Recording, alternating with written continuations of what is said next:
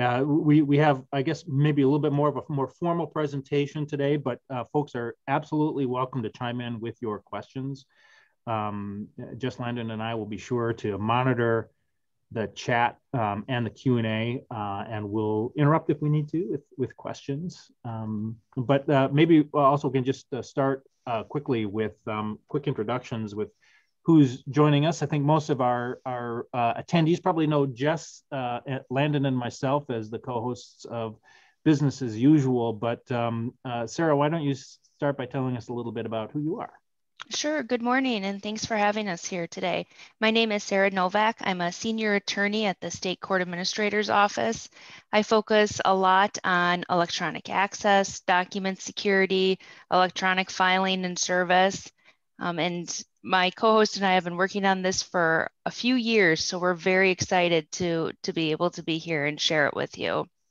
This has got an interesting history. I'm eager to learn a little bit more about, you know, what's with Tyler Host. uh, Anne's already shaking her head. So, Anne, you get to speak next. Next, tell us a little bit about who you are. Good morning. My name is Ann Peterson, and I am a senior project manager with the State Court Administration. I've actually worked for the branch for 27 years. I started life as a uh, senior court clerk in Ramsey County. So if there's any of you oldsters on here, this is Felony Ann. Hi. Welcome, Ann. Thanks. and, and Jody? And I'm Jody Boyd. I'm the Director of Public Affairs for the Minnesota Judicial Branch. So I mainly deal with our external communications and making sure that we are able to uh, help our stakeholders and the public understand the resources like this that are now available. Thank you so much. Take it away, Sarah. All right. So as Mike said, we have a a little bit of a presentation for you. We've tried to incorporate answers to some of the questions that we've heard since we've gone live a few weeks ago. Um, and then Anne's going to demo the site for you. And then um, we definitely want to hear your questions for us.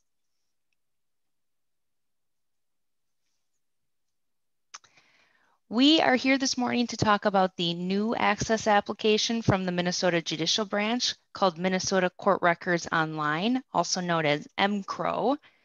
The Judicial Branch is transforming how it provides remote or online access to appropriate public cases and documents in our state district courts.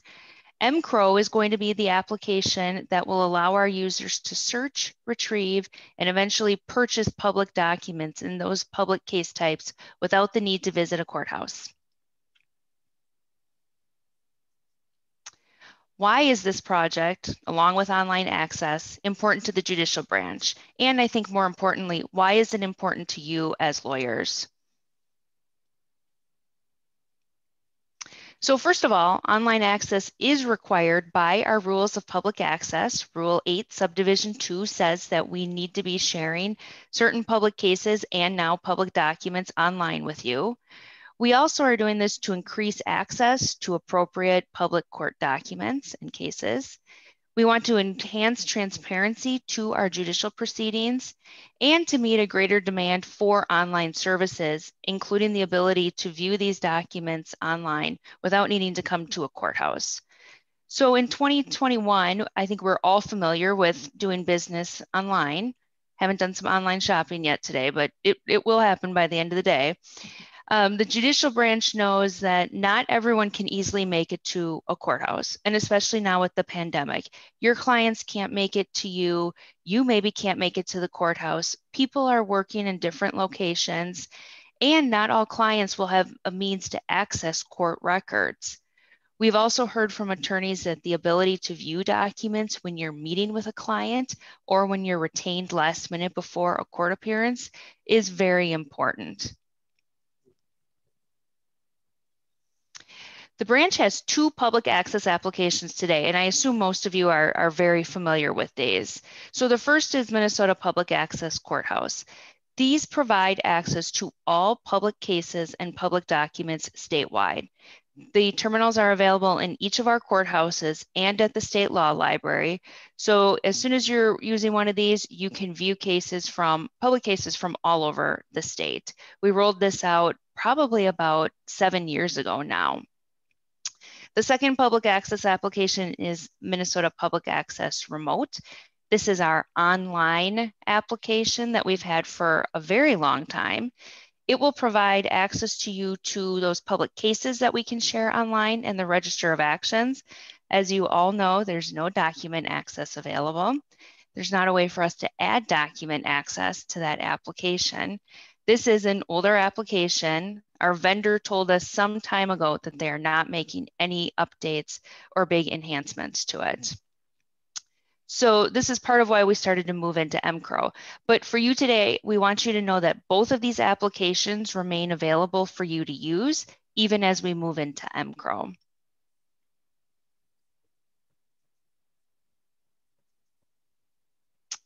So here's MCRO.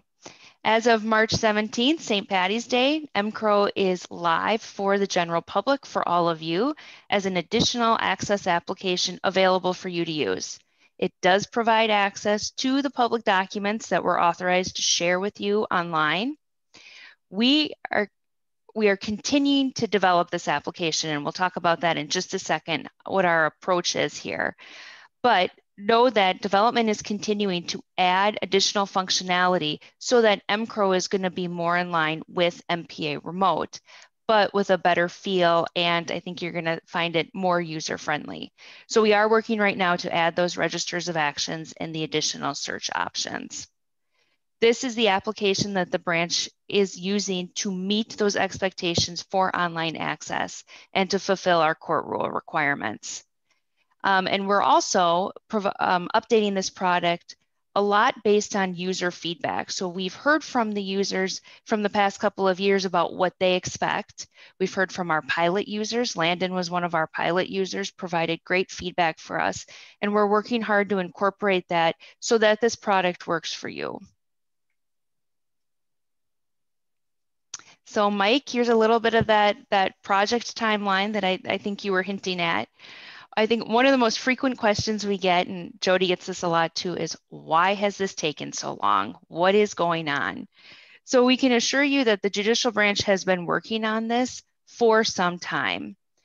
In 2015, when um, other court rules were amended to move to mandatory e-filing and e-service statewide, the rules of public access were also updated at the same time. Those rules changed and expanded what on what documents will be available for you online.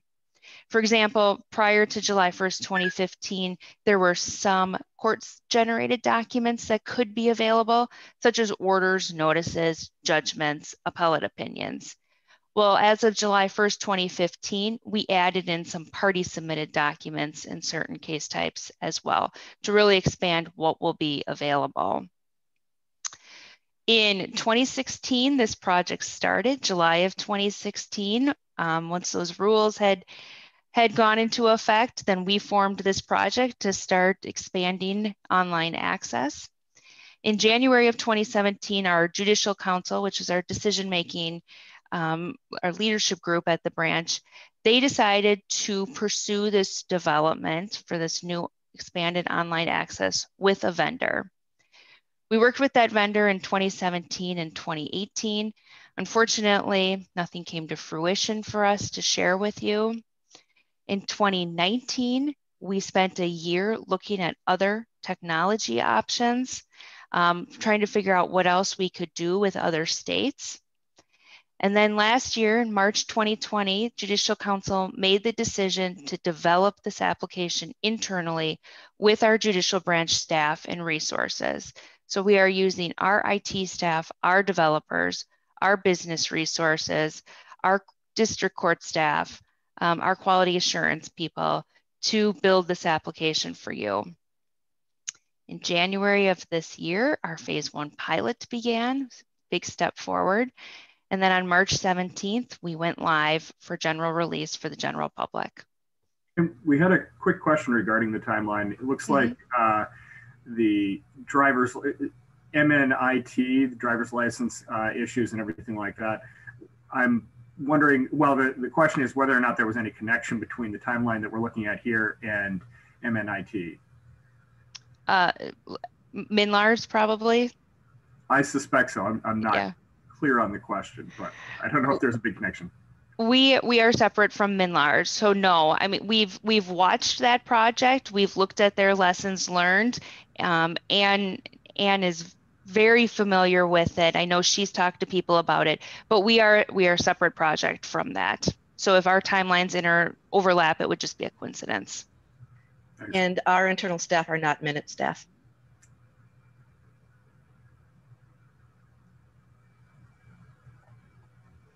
All right, let's talk a little bit about this phased in development approach that I mentioned.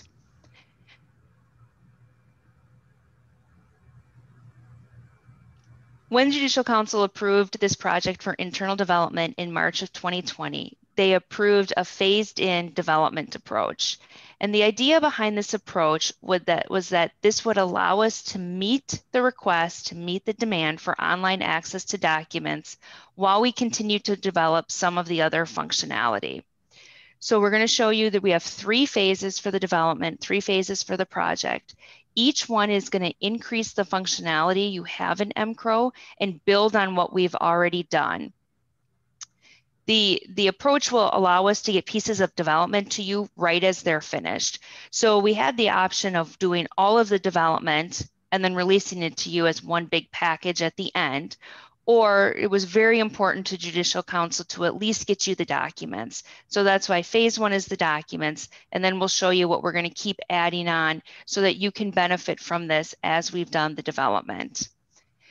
Eventually, the existing MPA remote application will go away, but that will be a decision once MCRO is fully developed and implemented, and we make sure that you have everything you need for public access in this application. That might be a good time to interject with John's question, uh, which I, I, was expecting someone to ask.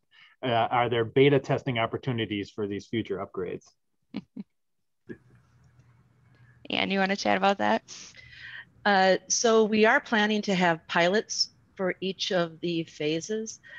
Our steering committee is the one who recommends who, who those pilots are. So while we will have those, I'm not sure exactly who the um, participants will be.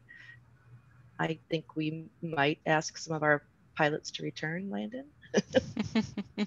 I would not say no. It, uh, I will. I will just chime in very quickly and say that this this program and the work that you guys have done has absolutely changed my practice for the better. Um, so I was very happy to be a participant. But our steering committee will make that final decision.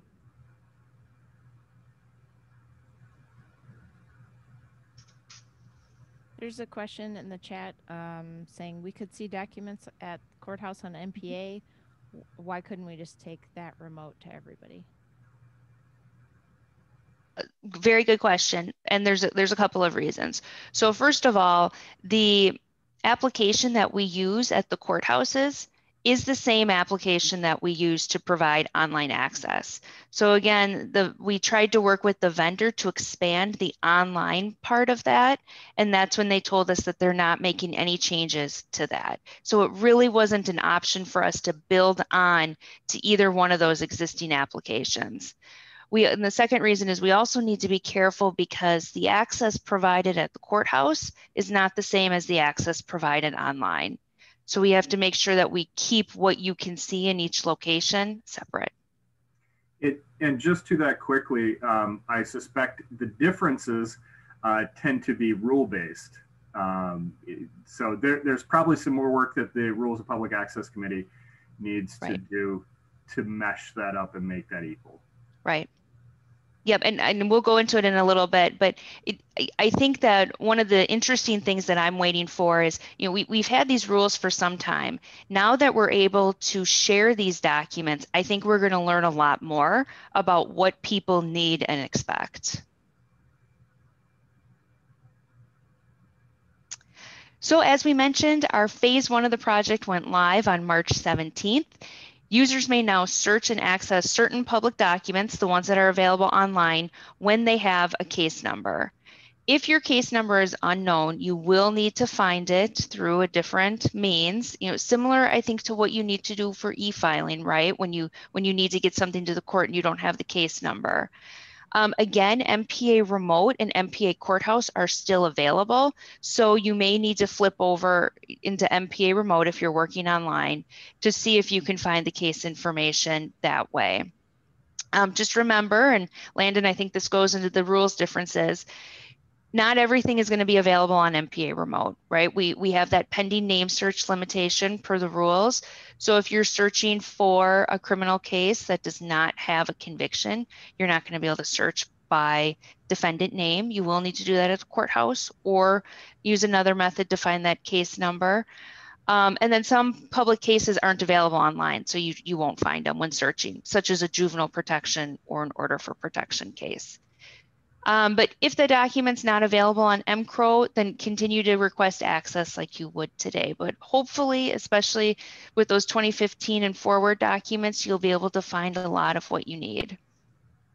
And I did notice, um, maybe it was just a one-off, but I did notice when I'm searching for things that are older than uh, 2015, they'll occasionally pop up as well. So it's right. it's they're there if the my understanding is that they're there if the courthouse has previously scanned them and done that work um, across the state of Minnesota, we're we're back up to at least 2015. Some counties and districts are further back than that. Correct?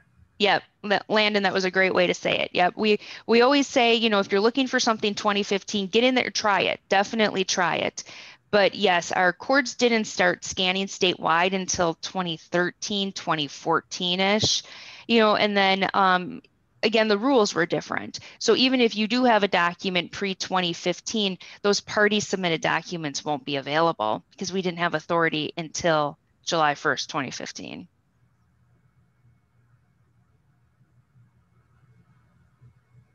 Phase two, uh, for phase two, you'll be able to access a new register of actions. This is quickly becoming one of my favorite parts of the application. I think it looks great. I think it's very user friendly. Um, and you'll also be able to access additional search features.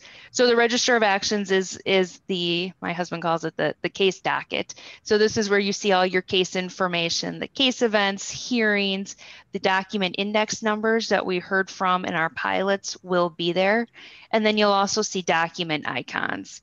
We're expanding the search options so that you can also search by person name, business name, attorney name, citation number, case number, and bar number. Then in phase three, oh, and our date for our target date right now for phase two is later in 2021. For phase three, which we're shooting for in 2022, users will be able to search for calendars and, and judgments. These are the cal court calendar and the judgment search options in um, MPA Remote today. And then we will also implement the access fee. And I, I did see the question pop up. A document icon is when you're looking at the register of actions, let's see, you'll, you'll see an event. So you'll see order for dismissal from the court.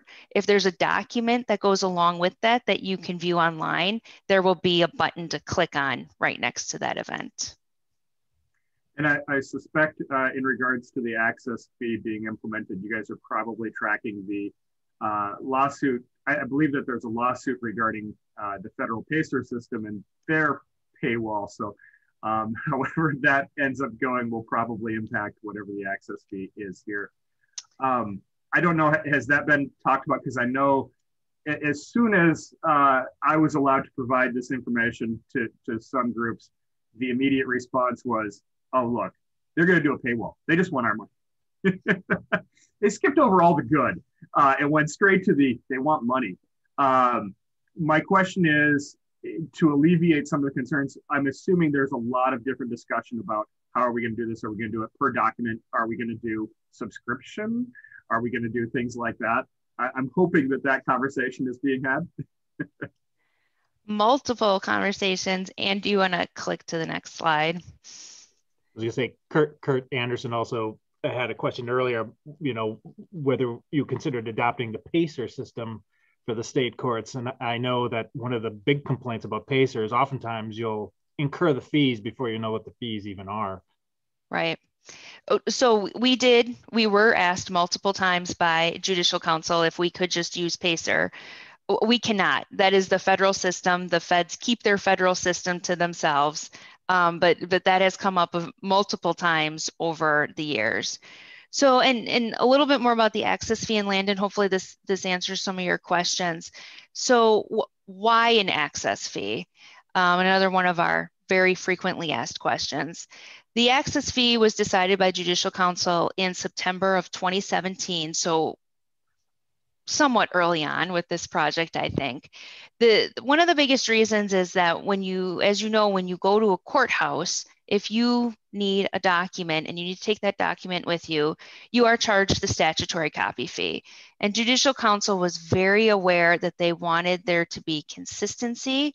They didn't want it to feel like people who have to go to the courthouse were going to have to pay when somebody who has access to the internet and the means to get to MCRO would not. Um, so the access fee is coming. The decision was also made that since we're rolling out our development and developing it in phases, this access fee is going to be the last layer, if you will, that we're going to add onto it. So the, it's not going to be implemented until we know that the system is, is complete and available for you.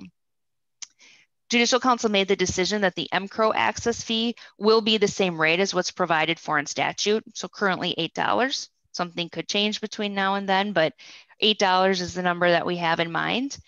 Um, so one of your points, Landon, once charged, this fee will not go to the judicial branch.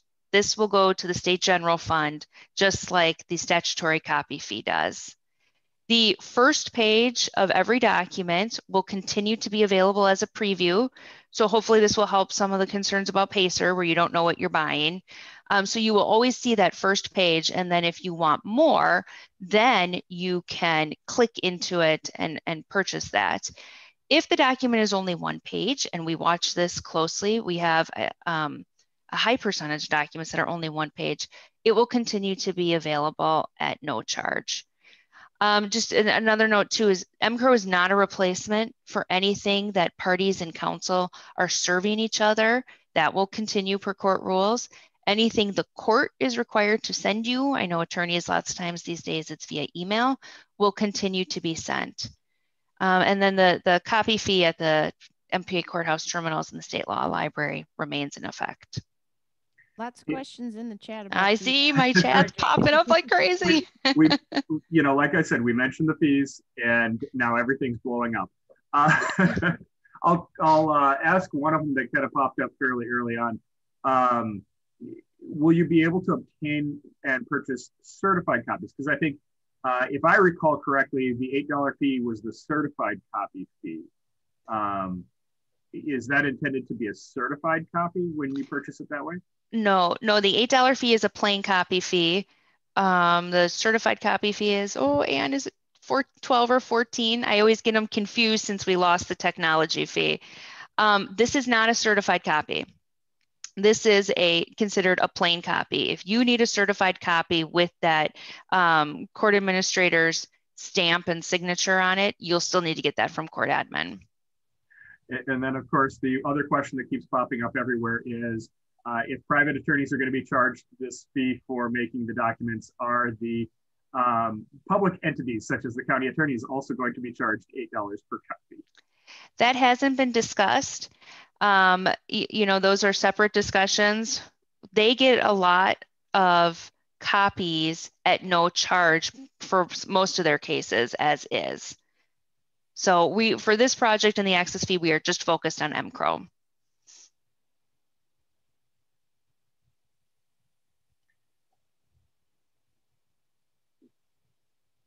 Okay think we got uh, the majority of those questions. I, I, suspect I'll just kind of head off those questions if I may. Um, I, it sounds like there's going to be a lot of discussion behind that and probably uh, opening that up for public input. Is, is that the plan? I know a lot of times before the court issues an order, there's a, uh, mm -hmm. a, a and I can't think of the word right now, uh, public input time period. Comment period. Comment period. Thank you. But you that, know, I, I several steps down the road. I don't know. Um, I we do know that this there's going to be a lot of questions and a lot of discussions. That's why we're so grateful to have Jody working with us on this project right from the start. Um, you know, Landon, I think the, the first thing was to really get phase one done and out the door. And now we'll start to have more of those conversations about what's coming. Thank you.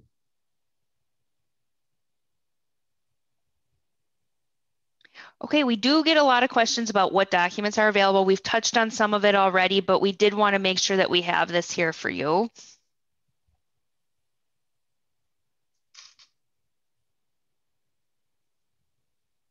So again, July 1st, 2015 is that important date in terms of online access to district court records. Again, that's when those rules of public access took effect they coincide again too with the the date for moving to mandatory e-filing and e-service statewide. What is available in MCRO? So um, one note before we go through these bullets, it includes the registers of actions, but as we mentioned, those will come later this year. So right now you have the documents available on this slide.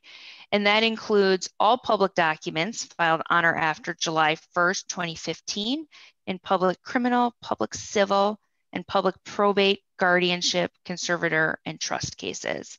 That includes court generated and party submitted documents that are public.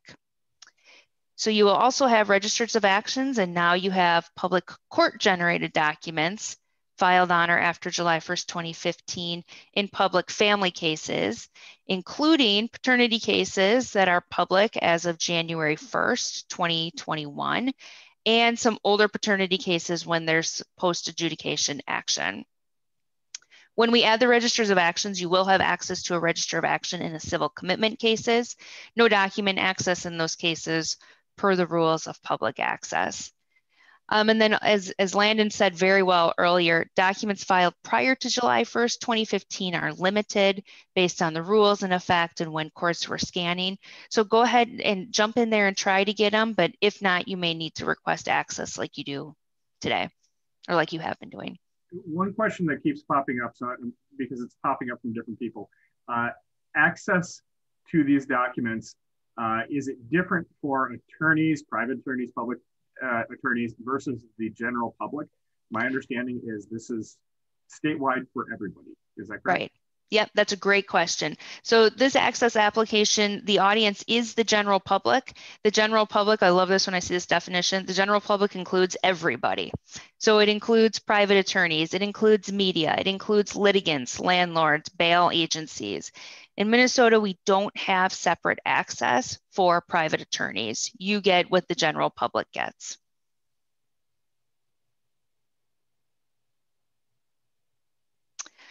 So um, the limits on what you can get online, what you've probably learned already with MPA remote, those will continue in MCRO. Again, rules of public access. We should have, maybe Landon, we should have started a tally for how many times we, we say that in this presentation. Um, if you need to review a public case or document not in MCRO, you will need to use, continue to use the MPA courthouse terminals. What are these cases? Because we do get questions on these. Um, the, the first two have come up a lot with our pilot. Order for protection and harassment restraining order cases will need to be viewed at a courthouse. There's no remote access to them. There's also no remote online access when we have an out of state, no contact order case. Our felony level juvenile delinquency for juveniles at least 16 years old cases, D16s, not available online, but you can get them at the courthouse.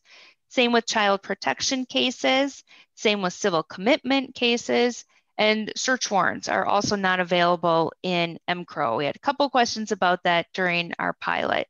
So I can say though that there is an effort at state court administration to try to make those search warrants available. It won't happen overnight. It won't happen next month, but but we're we're seeing what we could possibly make available.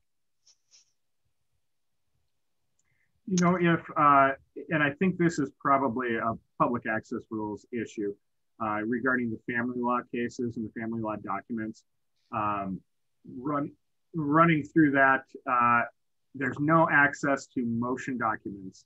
Correct. Is that a plan change, or is that something that the rules committee needs to address? That would be a rules change. Yep. That was actually our very first question in the pilot within probably a half an hour of opening this up for our pilot participants. We had a family law attorney looking for a motion. I, I believe I, I was there for that question as well. All right, no public access. Um, obviously, no public access is going to continue for confidential cases uh, and confidential documents, non-public. Um, what are these? These are our domestic abuse and harassment restraining order cases before a respondent is served, juvenile delinquency cases, paternity cases filed pre-January 1st without any post-adjudication activity, adoption cases, confidential name cases, cases and documents made non-public pursuant to, to judicial order, and then uh, non-public documents. I think you most you know, are very familiar with them. I think reports, evaluations, confidential fi financial source documents, and so on. And just to clear up the, the question that I'm sure some criminal defense attorneys are thinking out there is the very first one on there for domestic abuse cases. This is in regards to orders for protection, not in regards to domestic abuse criminal charges. So the criminal absolutely. charges are not included in that first line. Yep, absolutely. All right, now I'm going to be quiet. Ann's going to take it over for a demo.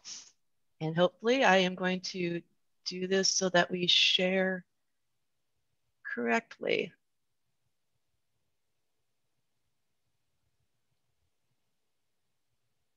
Okay. Maybe Well, while that, loading that up, that demo is, go ahead, Mike.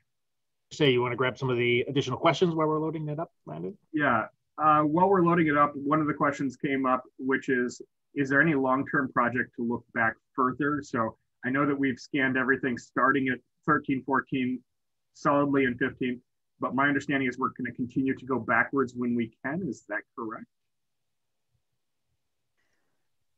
I don't think that's correct. Okay. So a, a lot of our courts are back, you know, we call it back scanning a lot of their files so that there is an electronic, a digital copy rather than having the enormous file rooms or, and of course, then, you know, what happens with files falling apart after so long, or sometimes we've had some weather issues with them. Even if a court back scans, that doesn't mean it's going to be available because if it's a document from, let's say, 2010, they need to contact the legal counsel division to try to figure out how that could be classified. And even if it's public, it may not be available online. So they don't quite go together. I think that as people start using MCRO, if there are some documents that could be classified so that they could be available, we may see that, but I haven't heard of a big effort to really make that happen. And uh, of course, one of the reasons that uh, we've kind of brought up that a lot of attorneys are looking for this, at least on the criminal side, is for expungement purposes. Um, so thankfully, most of my searches, I've found the same thing through this site as I've been able to get when going to the courthouse. So that's been nice. Okay. Other, oh, Sorry, go ahead. One of the other questions, which might be something we, we'd get into a little bit more with the demo is, as a private attorney, how can I get access to the files when representing a foster parent in a case? So it sounds like those would be restricted files if I'm understanding correctly, and that would probably be limited to the courthouse. Is that correct? Right. So depending on what the what the case is, if it's a, a, a child protection case, it should be public. So you should be able to go to the courthouse and view it and then request copies of anything you need. I think some of those older cases may have been confidential. So you're probably going to have to call court administration and see what they recommend. Are we caught up on questions? I don't know that we ever will be. Just go for it. you should be seeing the mncourts.gov site. Is that uh, what everybody's seeing? Looks yep. great.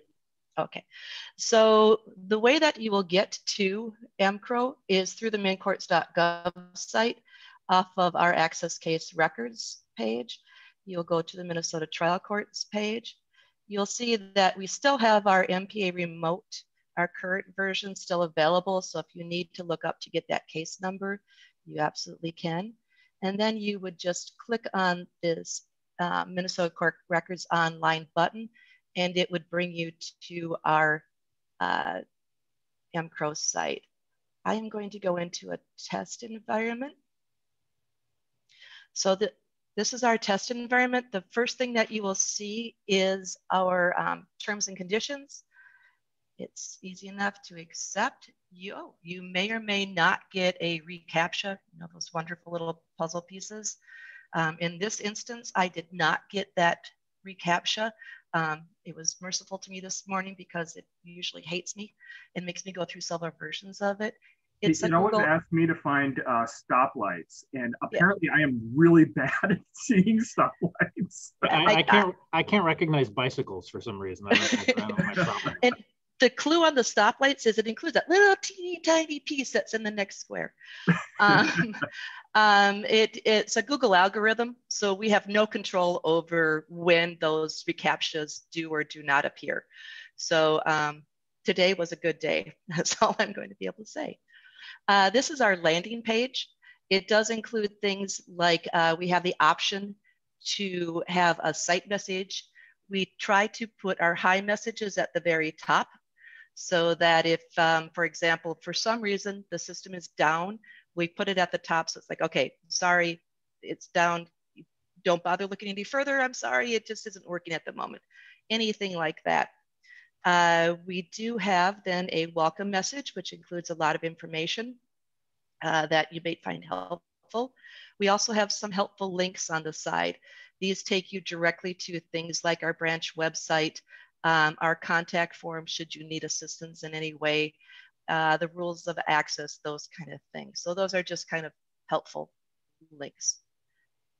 Then we also have a spot for some less important site messages. So if we have standard downtime, um, you know, we have site maintenance every Sunday pretty much. Uh, we just include that there so that if you are having issues, you can look at that and realize that that might be why maybe it's a little slower or something like that. Generally speaking, um, we aren't down for very long. Uh, so if you are on on a Sunday and you have a problem, just please try again in a little bit. The um, part that everybody really cares about is up here. It is our document search. Oh, and one thing we are very proud of is we are digitally accessible. So you can tab through and screen readers also work very well with our system. So when you tab on that document search, you just have to put in the case number that you are looking for. And these are not real case numbers. So they're a little longer than what you probably have seen. After you have put in the case number, you simply click on find documents. Ah, and here's where I, I have my love-hate relationship with reCAPTCHA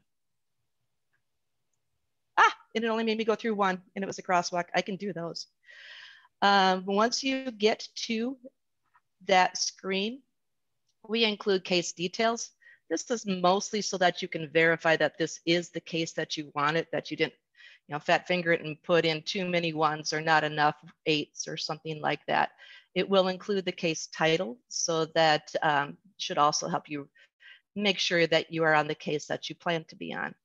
We do have a print button up here, uh, this will allow you to print a list of the documents. It does not allow you to um, automatically select all documents in print. That is uh, not anything that we offer at this time. But if I were looking to see if I had all the documents, I might print this list and then sort of check them off as I get them.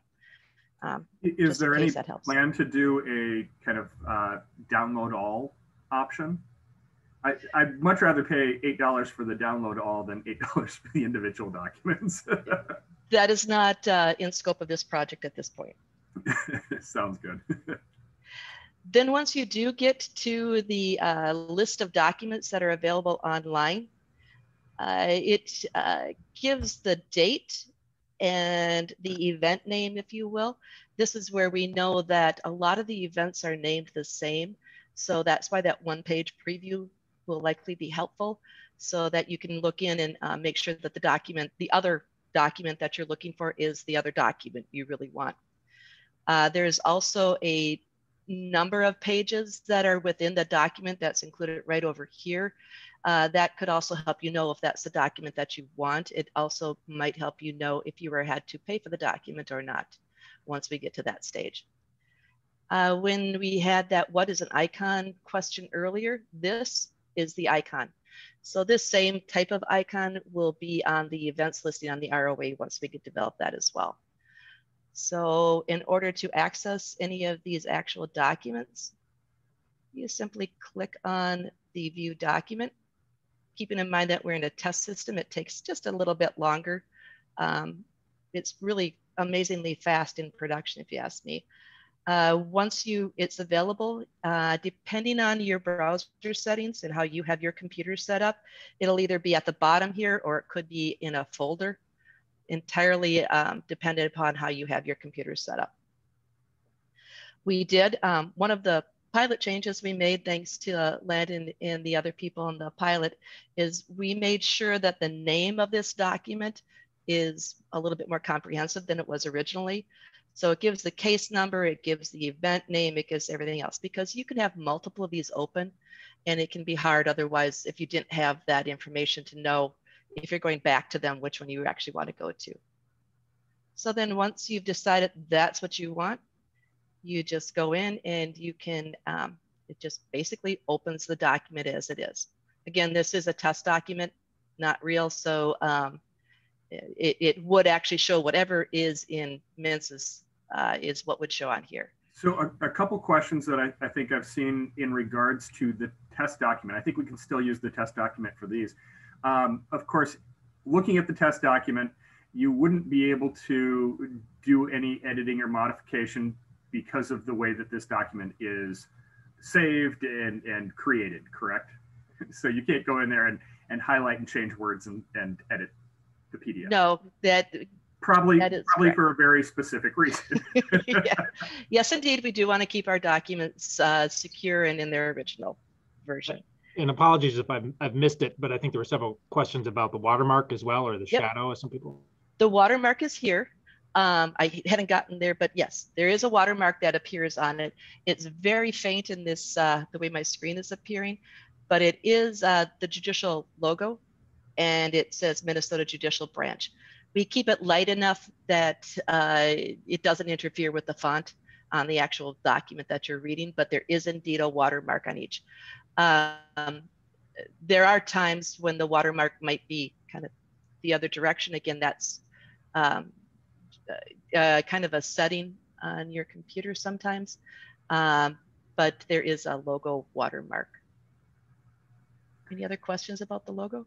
So now, in that, go ahead. To, now, is that to distinguish it from a certified copy? That and it also adds a layer of protection um, so that people don't change uh, our court documents that have been previously filed. And of course, I believe that if they were scanned OCR, they are available OCR. When we, um, oh, okay, so this is a little bit of a technical explanation. Please uh, have patience with me as I stumble through it. Um, so the documents that are filed through EFS are PDF and are we're supposed to be OCR'd. There is a process in MNCIS that PDFs and OCRs, um, if there are some other documents, including scanned ones. There are some original documents that are TIFF. So prior to 2015, maybe 2013. Some of our documents are TIFF and not yet OCR'd. The process that adds the watermark also turns them into PDFs and makes them OCRs. So they should be OCR by the time you receive them. Um, they may have gone through a couple of variations and um, technical work to get it that way. And occasionally there's a, a PDF signature problem that kind of comes up. uh, can you address that at all? yep. It's um, it's actually not a signature problem. It, it kind of gives you a warning saying that there may be a problem with the signatures. If you go in and you accept it, our our logo or our watermark is a digital signature. So if there was a previous signature on there, our digital signature adds a layer, and all you have to do is accept that. Um, so it's like again, it's sort of a setting that you've got once you accept and say that they're valid, then um, that kind of goes away on that document. But it it it may um, appear in other documents as well. You just have to accept them. And after the demo, Ann's going to show you um, our website and where we have some support resources. And we do have some steps about that in one of our FAQs. You can also feel free to, to contact us and we can help you work through that if you're seeing it.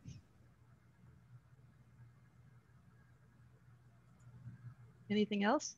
And there's, uh, there's still a lot of questions regarding the cost. And I want to uh, reiterate that, of course, there is no cost at this stage. Everybody okay. jump in there, feel free, um, play with it, don't break it. Uh, I love this program. Don't break it, uh, but play with it. Uh, find the, the places that are working and not working. Obviously, if they find a bug, what should they do? There is a contact form, and please do contact us. Um, we have, uh, it's like knock on wood, we've had amazing luck and success with it so far, but we do want to know if there's a problem. So yes, please do use that contact form to contact us. I am going to go over quick and show you a search for a family case. So you can either clear it or you can just overwrite that. The family case that we have set up for you today is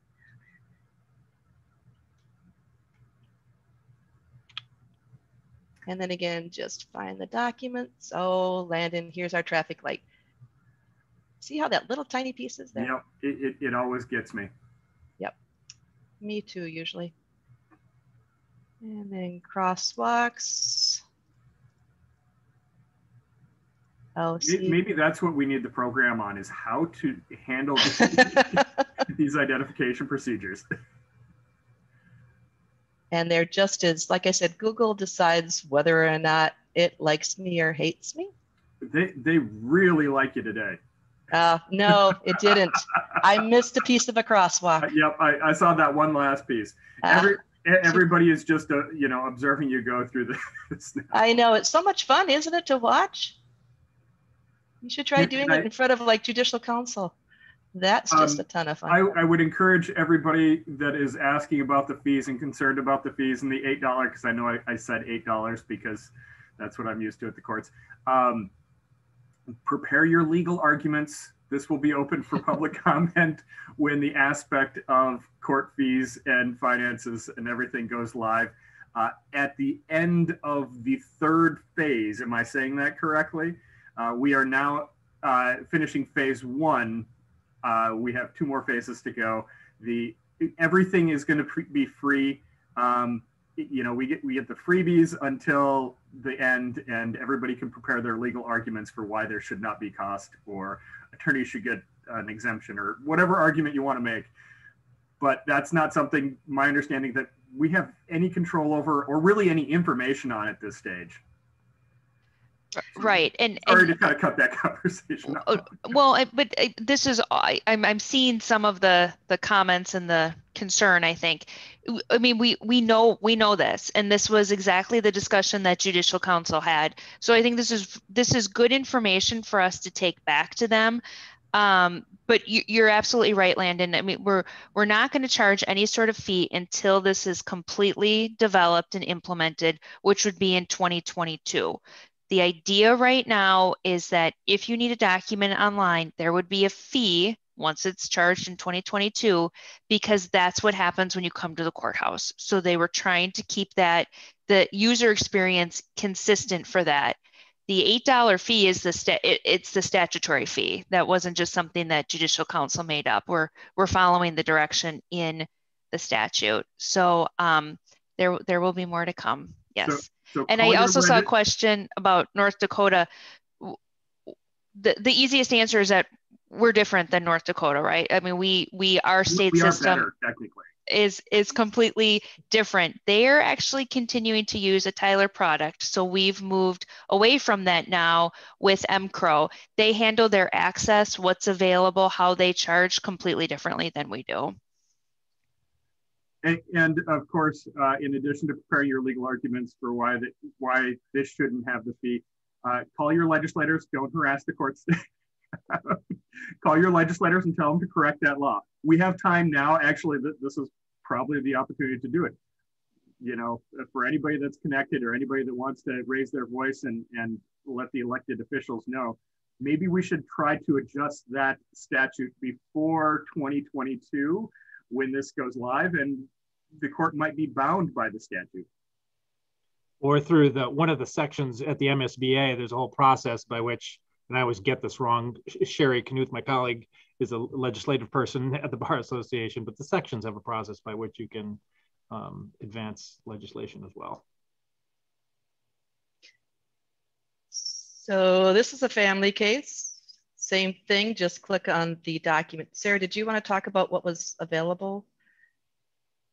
Um, because again, this is family, so it is those.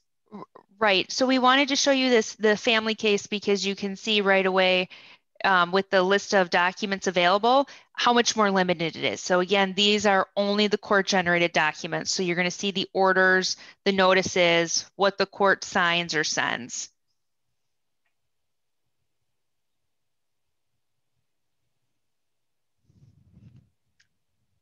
Any other questions about the demo? Lots of questions. Uh, in regards to the, the watermark, I think the watermark is one of the things that gives a lot of people problems. And one of the things that I've experienced as well is, you know, you, you get a download of a complaint and you need to cite that complaint and, uh, you know, talk about specific language in the complaint or a judge's order in the motion that you're making. Because of the watermark, of course, we can't copy and paste. um, I think that a lot of people, it sounds like, may have found workarounds, whether that's printing it and scanning it again or things like that. But there's no option through the the uh, access that we have available to get a copy without the watermark or to simply highlight certain sections of text. Correct. That is correct. In our in our tool, uh, you cannot do that. But as you said, there no doubt other, people may have found workarounds that um, may need to be corrected if they get brought to the attention of the wrong person. no offense. I'm, I will say that I'm still looking for my own personal workaround, but uh, so far my workaround has been to retype whatever is in the document. um, let's see. I, I promised uh, before I forget, I want to make sure I ask about MGA government access. Uh, is that also being replaced? there were a couple of questions here, and I apologize, I don't think we addressed that one. No, it's not. So MGA received an update in November, Ann, is that right? Um, they um, th that is a Tyler product. Um, I, I haven't heard of any other work being done with MGA now. And for those that are asking about the uh, the changes to the public access, specifically, I see some family law questions popping up. Obviously, that's something that we we mentioned earlier that would have to be addressed by the Public Access Committee. My latest response, uh, I do serve on the Public Access Committee, at least as far as I know. They haven't kicked me off yet. Um, but regarding the Public Access Committee, I've been told that all of the court committees are currently suspended during the pandemic. They are not meeting. Um, I believe the Public Access Committee had one last meeting back in November before that happened. I don't believe that there is any planned meeting at this time, but that is something that uh, you know people can send their input along to the Public Access Committee when it does meet. There, there are, and I will assure everybody, there are family law attorneys, there are uh, criminal defense attorneys, public attorneys, uh, non-attorneys, we, we try to get people from every area and walk of life uh, when having these discussions. And the discussions regarding what should be public and not public is very robust. Um, a lot of positions on, on, all sides for it seems like every aspect of this. But um, if people have concerns or reasons that things should be public, definitely bring that to the Public Access Committee.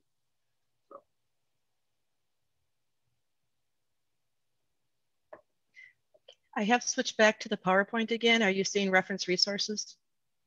Yes. Yep, we are. Oh, and a quick question, Mike, for uh, the CLE number, sorry. Uh, yes, sorry, multitasking here. Uh, the number uh, for today's presentation is 353 203 I'll drop that into the chat as well. The CLE code, the number. The CLE code is 353203. I was just logging back into um, uh, MCRO. I have to.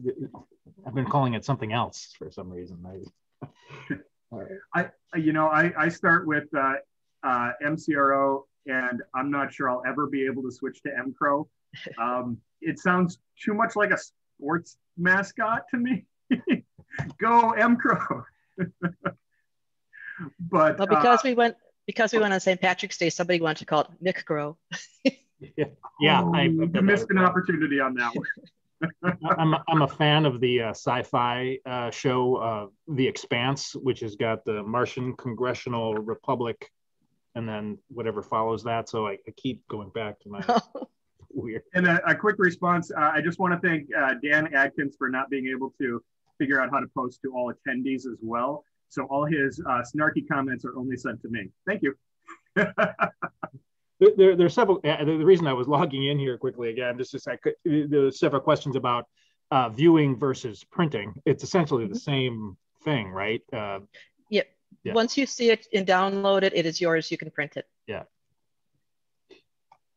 Um, and even just to, to reopen that can, can of worms, uh, what you guys have talked about is the first page. Uh, you're going to be able to see the first page no matter what. Um, there's no not going to be any cost for the first page. And I will say, at least on the criminal side of things, the most most of what we see nowadays is uh, pandemic rescheduling notices, which are one page anyway. but um, a lot of that data and a lot of the information to determine whether or not you want it is going to be, you know, something you get from that first page. So correct. and uh, I know that we've talked about the fact that uh, court access public access is everybody access. There is, uh, there's a fair, fair, number of questions asking if there's any intent to, um, one, make it more available for uh, the attorney of record or private attorneys or uh, anything to that extent. Is there anything in the works that uh, give a different level of access to somebody that has a Minnesota bar number versus somebody that doesn't?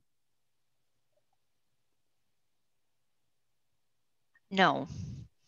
And not because we don't hear you, be, because we do, um, and we get this question a lot, but because our rules of public access don't tell us to provide that type of access. We are rule bound. Um, in regarding the presentation, is that something that's also available? Is that presentation available online? Well, we um, it's not online, but we were planning to send you guys a copy of it. So we Great, figured people. Uh, yeah, folks, I will. Uh, we've got the session recorded. It'll be in the Practice Law Library and on our YouTube channel. Uh, if you go to the Practice Law Library, um, I'll provide, if it's all right with everyone, your contact information, um, the materials uh, that you've been viewing today, um, maybe links to the other resources that you uh, they're on that page also, uh, and the video, of course, as well. So you can watch the program again if you wish. And our contact information is on the last slide, so yes. Okay, perfect. Thank you. Uh, any last burning questions? Uh, uh, the chat and the Q&A is um, lively. So um, Landon, if I missed uh, a key one here before we wrap? Um, one that actually hasn't been asked, but I know would be asked by our former guests. Uh, so I'll figure I'll throw this out there. We've had guests on here that, of course, go through and they collect data and they collect all the documents they can to scan it and try to uh, help people research and find things in the future. Um, I, am trying to think the best term for them, but document gatherers, mass downloaders, whatever you want to call them. Um, is there any plan or setup in regards to that? I know that we have systems set up for public through the public access where they can get copies of the registers of action and case history, but not necessarily the documents. Is that being contemplated? Yeah, I'll, I'll add on to that question quickly too. I think developer type access, if like Pacer, for example, has got a lot of, uh, you know, in part because Pacer hasn't been a great system. They've built services over Pacer, like Pacer Pro, for example. And I know the uh, the MSBA's uh, tech section has wanted access to the data to measure things like, um, you know, to the extent you can, uh, you know, bias and what happens in rural communities versus urban communities, um, you know, that kind of thing. I am eager to start scraping documents for uh, a, uh, you know, a, a, briefs library and practice law, um, you know, things like that. Uh, so uh, tack that coda on onto Landon's question.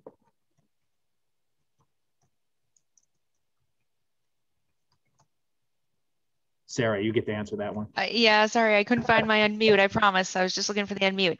Um, that is not planned as part of this project. So I, I think when you start talking about scraping, first it scares people at the branch. Yeah. Um, but then some of the other data behind it and being able to report that moves more towards um, a bulk data request. So that would be handled through that process and working with the branch in that way rather than through the actual MCRO application.